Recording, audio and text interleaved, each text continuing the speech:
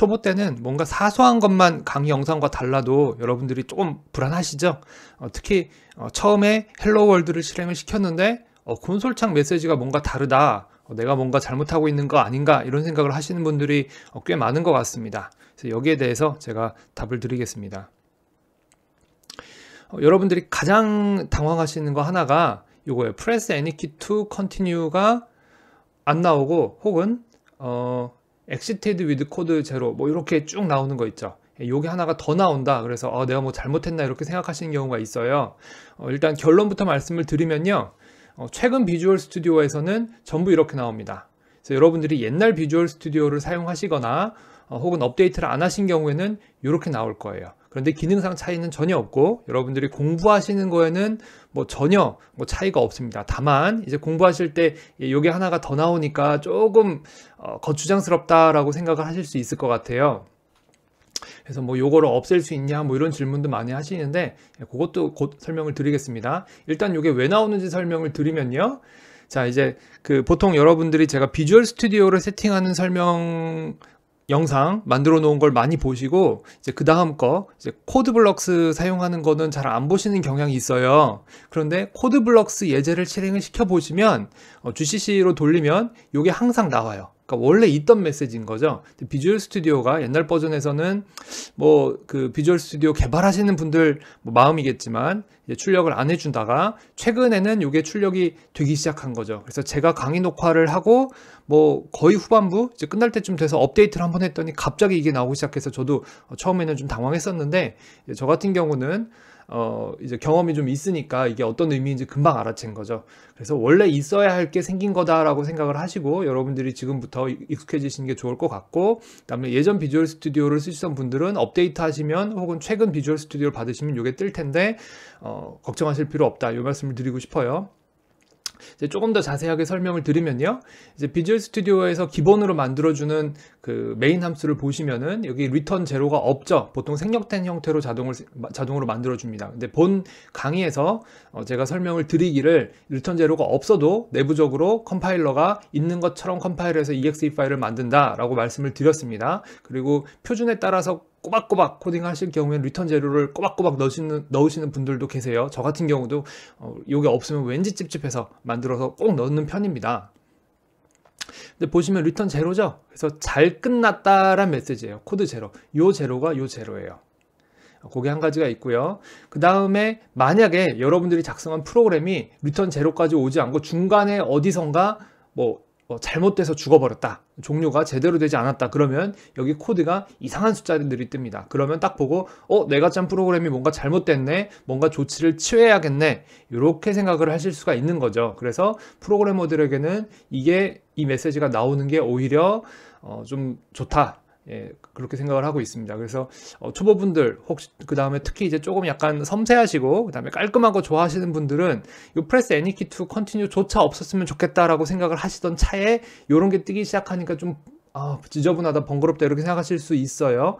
예, 그거는 이해를 하는데, 뭐, 제 개인적인 견해는 여기에 익숙해지시는 게 좋다라고 생각을 합니다. 그리고 왜 뜨는지에 대해서는 뒤에 이제 코드 돌리면서 제가 다시 한번 설명을 드릴게요. 그 다음에 또 추가로 설명을 드릴 내용은 이제 뭐 요게 제 예제에서 만든 건데 어 0.4.0.2x2를 실행을 시킨 거다라는 것을 미리 어 명확하게 보여주고 있죠. 그래서 여러분들이 프로그램을 그 작성하시고 경력이 쌓이고 그 다음에 많은 프로젝트, 큰 프로젝트를 하시다 보면 EXL 파일이 여러 개가 생길 수 있습니다. 실행 파일이 여러 개가 생길 수가 있어요. 그럴 때는 내가 실행시킨 게 뭔가 헷갈리실 수도 있어요. 그래서 어 저는 이게 나오는 게 좋다라고 생각을 하고요. 거기다가 이제 여러 개의 프로그램을 막 돌리시거나 어, 동시에 여러 개 그 프로그램이 그 상호작용하는 프로그램을 작성하시거나 그럴 때는 프로세스 아이디까지 알아야 하는 경우도 있습니다. 그래서 프로세스 아이디까지 설명을 어, 여기 출력을 이제 해주고 있는 거죠. 그래서 저는 이게 바람직하다라고 봅니다. 어, 프로세스 뭐 이런 거 설명은 강의 중간 중간에 나오니까 어, 제가 여, 일단 여기서는 넘어가도록 하겠습니다. 자. 일단 그 기본적으로 생성되는 Hello World 예제가 있고요. 요거를 실행시켰을 때 자, 또 한 가지 또 말씀을 드려야 될 게 요거 디버그 콘솔이 생기는 게 조금 달갑지 않다 뭐 이렇게 생각하시는 분들도 계세요. 굉장히 이제 그 어, 세세한 것들을 잘 보시는 것들이죠. 그런 분들은 그런 분들이 이제 프로그래밍 잘 하십니다. 그래서 저는 뭐 여러분들이 그런 거 찾아내시는 거 좋다고 생각을 하고요. 차이를 어 이제 모르고도 그냥 코딩 공부하면 된다라고 말씀드리는 방법도 있는데 저도 좀 이걸 따지는 편이라서 왜 그런지 어, 테스트도 해봤고 지금부터 설명을 드릴게요. 자, 어, 여러분들 중에 간혹 콘솔 창이 실행되자마자 press any key to continue가 뜨지도 않고 그냥 깜빡하고 사라지는 경우가 있었죠. 그 경우를 실행을 시켜 볼게요. 그래서 Properties에서 시스템에서 서브 시스템이 콘솔로 되어 있는데 이걸 Not Set으로 바꿔 볼게요. 자, 이렇게 실행을 시키고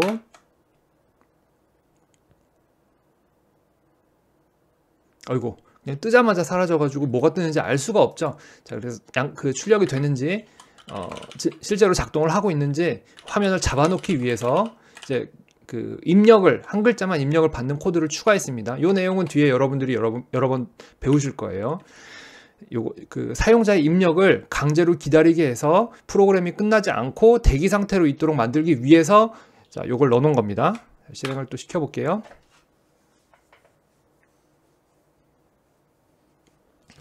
자, 그러면 어, 여기 디버그 콘솔이라고 뜨던 것도 그냥 실행 파일 이름으로 바뀌었죠. 깔끔하죠. 그 다음에 여기다가 뭐 글자 하나 치면은 어, 사라집니다. 사라지는데 잘 보시면은 자, 한번 더 해볼게요. 자, 아무 글자나 입력하고 엔터를 치면은 이제 프로그램이 끝나서 사라지는데 어, 나오는 메시지가 없어요. 예, 없습니다. 그래서 여러분들이 지금까지 보신 메시지들 다시 전 화면으로 돌아가서 이 메시지나 이 메시지는요. 자 여기 이 콘솔 모드에서만 나타나는 거예요. 예, 콘솔 모드에서만 나타나는 겁니다. 그러니까 Visual Studio가 exe 파일을 실행을 시킬 때 프로그래머를 도와주기 위해서 추가적인 메시지를 더 만들어 주는 겁니다. 그리고 요거 이렇게 해버리면 완전히 바로 사라져 버리는 거죠. 어, 그래서 그 차이에 대해서 제가 또 말씀을 드렸고 그 다음에 Not Set으로 바꾸면 디버그 콘솔 대신에 그냥 exe 파일 이름이 나왔죠. 그래서 그것도 차이가 생긴다라는 거 알아두시면 좋을 것 같고 그 다음에 또 한 가지 보여드려야 될 게 있는데 어, 자, command 창에서 실행을 한번 시켜볼게요. 자, 여기 right click하고 open container open containing folder를 열고 그 다음에 이제 어, Release로 가볼까요? 자, 이 디렉토리로 이동을 할게요. 이렇게 하고 그 다음에 0.4.0.exe를 직접 실행시키면은 아이고 자, 직접 실행을 시키면 군더더기 없이 그냥 실행 결과만 나오고 끝납니다. 자, 그러니까 exe 파일이 만들어질 땐 잘 만들어진 거죠. 그래서 이런 것들 자잘한 차이가 있다라는 걸 여러분들이 어, 강의 초반부터 뭐 걱정을 하실 필요는 사실 없는데 이제 좀 꼼꼼하시거나 이제 섬세하시거나 아니면 뭐 이렇게 좀 더 자세하게 보고 싶으신 분들이 많이들 궁금해 하셔가지고 보충 강의를 어, 녹화를 했습니다. 그래서 본 내용은 여러분들이 뭐 완전히 이해가 안 가거나 좀 정신없다라고 생각하실 수 있어요. 그래서 본 강의에 추가를 하지는 않을 거고 질문 답변으로 별도 강의로 녹화를 했고요. 그 다음에 만약에 뭐 봐도 아 그냥 그러려니 하고 뒤로 가면서 여러분들이 경험이 쌓이시고 하시다 보면 결국은 이 내용들을 다시 또 아시게 됩니다.